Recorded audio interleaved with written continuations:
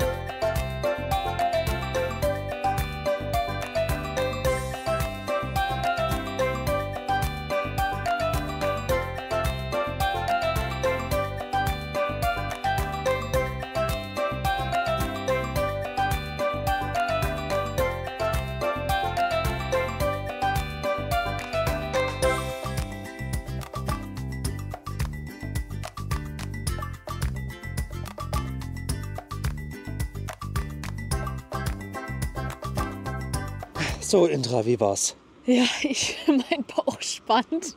Nicht nur von der Schwangerschaft? Nein, es war so viel zu essen. Wir hatten einen riesigen Obstteller auf dem Tisch und es war wirklich viel Inhalt. Also, ich bin Also der hat die ganze Zeit erzählt, wo die Melone herkommt, die Geschichte von der Traube, worauf man achten muss, wie man was essen kann, wann was reif ist. Zu jedem Obst hat er was erzählt. Das Essen dazu hätte man gar nicht gebraucht, weil einfach, also es war lecker, aber es hätte man nicht gebraucht, so viel Obst, wie man gegessen hat. Ja, also es war wirklich extrem informativ. Wir waren auch ganz offiziell wohl die ersten in Deutschland, die eine orangefarbene Wassermelone getestet haben. Ja. War okay, war so eine Mischung aus Wassermelone und so leicht honigmeloniger Geschmack, aber jetzt nicht Mhm. so Ding. Und es war, wie gesagt, Esse viel zu viel. Und was Also ja auch Obst halt Ja. sehr viel vor allem. Und was halt auch war, wo ich überrascht war, man kann auch die Reste am Obst, wo ich gesagt habe, hier sind auch gleich äh, Plastikbeutel, nehmt gern alles mit. ja. Der Hammer. ja, und also war wirklich sehr, sehr gutes Das Obst. waren jetzt also, zweieinhalb Stunden fast. Ja, genau. Also zweieinhalb Stunden wirklich vollgepackt mit Infos und Essen. Ähm, Essen.